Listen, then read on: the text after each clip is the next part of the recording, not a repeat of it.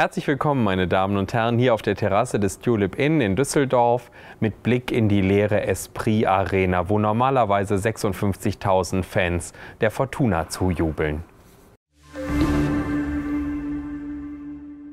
Alan Bradley feiert dieses Jahr seinen 80. Geburtstag. In Kanada geboren, zog er sich bereits mit 56 Jahren aus dem aktiven Berufsleben zurück, um sich ganz dem Schreiben zu widmen. Auf der Basis eines einzigen Kapitels wurde sein erster, damals noch ungeschriebener Roman Mord im Gurkenbeet mit dem renommiertesten Krimipreis der Welt ausgezeichnet, dem Dagger Award. Zu Recht, denn der Einstieg in den ersten Roman ist so meisterhaft, dass man ihn nie vergessen wird.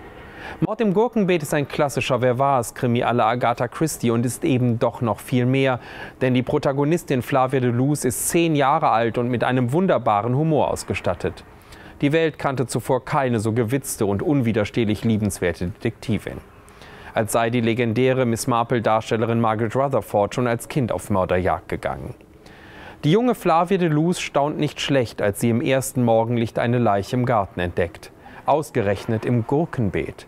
Jeder hält ihren Vater für den Mörder, denn Colonel de Luz hat sich noch tags zuvor mit dem Verblichenen gestritten.